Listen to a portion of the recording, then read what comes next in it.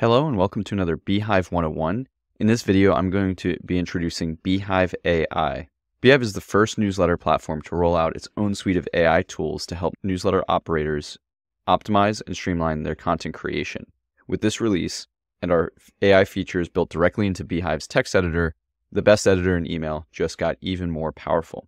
Now, as we get started, there are four tools that are built into the editor. Our AI writing assistant, our AI text tools, our AI image tools, and our AI translator. Now, before I get started into how to use each one, the AI writing assistant is a generative AI tool that creates content based on the user's desired output along with other parameters passed along, such as length and tone. You'll type in a prompt and the output will be the text that is generated. The next one is you can take existing writing and use the power of generative AI to change the tone of voice, autocorrect, autocomplete, lengthen, shorten, simplify, and more. Third, we have our AI image tools. You can use generative AI to create beautiful images with nothing but a prompt and without ever leaving the Beehiiv editor. Lastly, if you want to seamlessly translate your content into multiple languages, we provide that support. You simply highlight the text and select the language that you want to translate into. With that introduction, let's jump into things. If I go to Beehiiv and I click on the write option and then click on posts. I navigate to a new post or I create a new post. From my editor, I can forward slash and we'll see there's a couple new widgets here. One would be our AI writer. And so we'll get started here. We simply give it a prompt.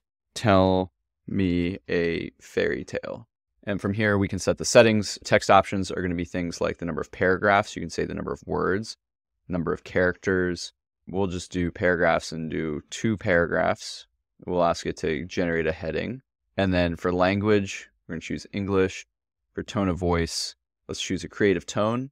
And from there, we hit generate text. So this is going to take a few seconds. It's going to take this prompt with the settings that we provided, and it's going to give us our feedback. So we can insert that. Now we have some content. It looks like a, a typical story. The next feature we can take a look at is within the text itself, we can actually modify it. So if I go here, I can highlight specific text. Let's just say, let's highlight this last paragraph. And let's say, let's improve the writing. We want to extend it. For example, we can do all of these things shorten, extend, simplify, or change the tone of voice. That's how you can basically take existing text that you've written. It doesn't have to be generated initially. You can take original text and use these augmentations to improve the writing.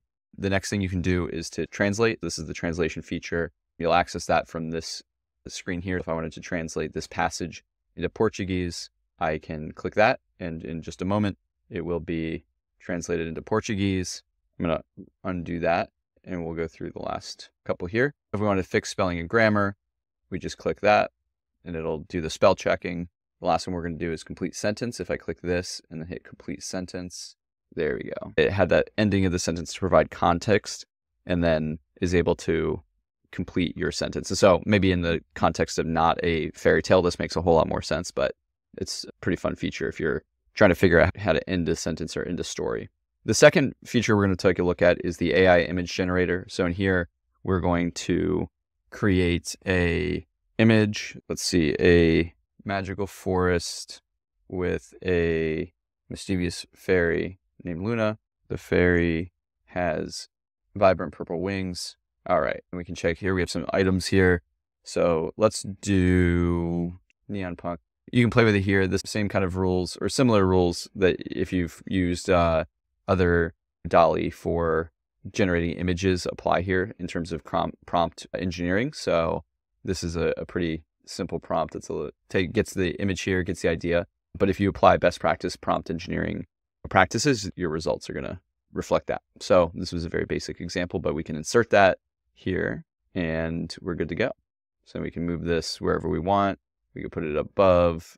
So now we look at preview and we now have a story with an image generated completely by AI as we've been sitting here. And there we have it. Those are some really exciting new features with Beehiiv. You can clearly, I think, see the value that these represent. And so we're really excited to see how you take advantage of these tools. We look forward to seeing what you build. Have a great day.